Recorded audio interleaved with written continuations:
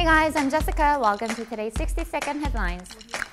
South Korean pitcher Yu Jin has finished at second place in the 2019 National League Cy Young Award voting. He also became the first Asian to earn a first place vote for the top pitching prize. South Korea's state prosecutor summoned former Justice Minister Cho Kuk to question him on family-related charges. In addition to his wife, who is currently detained, his brother and son of relative are also in custody over numerous suspicions. South Korea remains willing to reconsider its decision to terminate a military intelligence sharing pact with Japan if Tokyo first retracts unfair export curbs.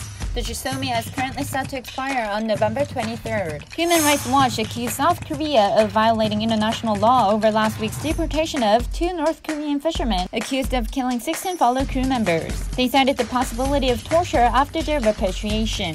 BTS's agency, Big Entertainment, is to take legal actions on industry representatives committing fraud by using the agency's name to create and sign fake contracts. About 11 companies were victimized with the damages of 5 billion won.